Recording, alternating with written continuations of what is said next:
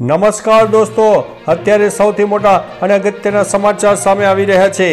ગુજરાત સહિત દેશભરમાં ચારેક મહિના કરતાં વધુ સમયથી હાર્ટ એટેકથી મૃત્યુ થવાના કિસ્સા વધી રહ્યા છે. આવા કિસ્સામાં હવે નાના બાળકો પણ બાકાત નથી રહ્યા. થોડા દિવસ પહેલા જ સુરતમાં ચાલુ શાળા દરમિયાન વિદ્યાર્થીને હાર્ટ એટેક આવવાના કિસ્સામાં સીસીટીવી ફૂટેજ સામે આવ્યા હતા. ત્યારે સરકાર માટે યક્ષ પ્રશ્ન બની રહેલી આ સમસ્યા અજગરી ભરડો બને એ પહેલા કેવી રીતે અટકાવી શકાય તેવા પ્રયત્ન કરવામાં આવી રહ્યા છે. હાર્ટ એટેકથી બાળકોના જીવ બચાવવા માટે સરકાર સજ્જ છે તેવું સરકારે જણાવ્યું છે. વીસ હજાર સ્કૂલના દોઢ લાખ શિક્ષક અને ચારસો ને ઇકોતેર કોલેજના દસ હજાર પ્રાધ્યાપકને સીપીઆર ટ્રેનિંગ આપવામાં આવશે.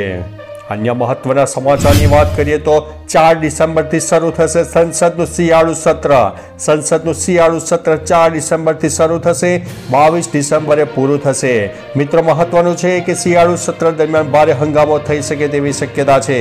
બીજી તરફ, કેન્દ્રીય સાંસદીય કાર્ય મંત્રી પ્રહલાદ જોશીએ જણાવ્યું છે કે ઓગણીસ દિવસ સુધી ચાલનારા આ શિયાળુ સત્રમાં પંદર બેઠકો થશે. તમને જણાવી દઈએ કે પાંચ રાજ્યોમાં યોજાનારી વિધાનસભાની ચૂંટણી પછી તરત જ શિયાળુ સત્ર શરૂ કરવાનું આયોજન છે.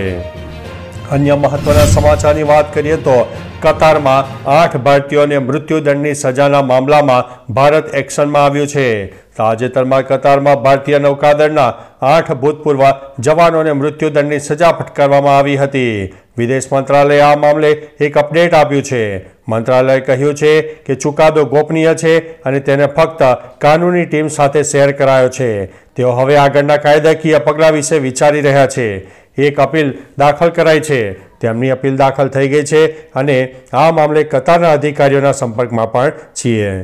તો ચાલો મિત્રો, ફરીથી દેશ અને દુનિયાના સુપરફાસ્ટ સમાચાર લઈને મળતા રહીશો. ત્યાં સુધી અમને રજા આપશો. નમસ્તે.